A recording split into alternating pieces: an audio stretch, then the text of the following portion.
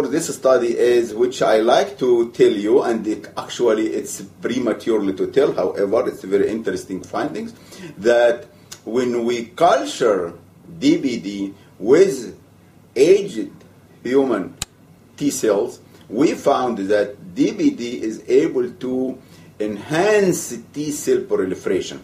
As you know, when we people getting aged, that T cells become weak, and that probably responsible for the development of cancer associated with aging people.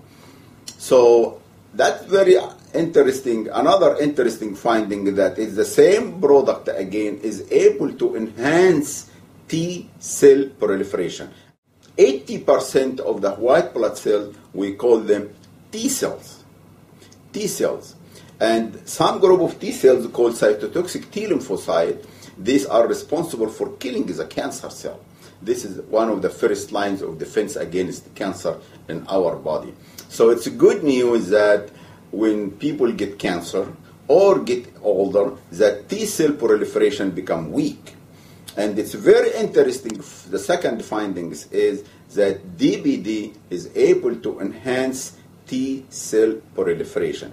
So we did similar study with mice two years ago, and recently we found also human T cells are susceptible to uh, PDP enhancing uh, potential.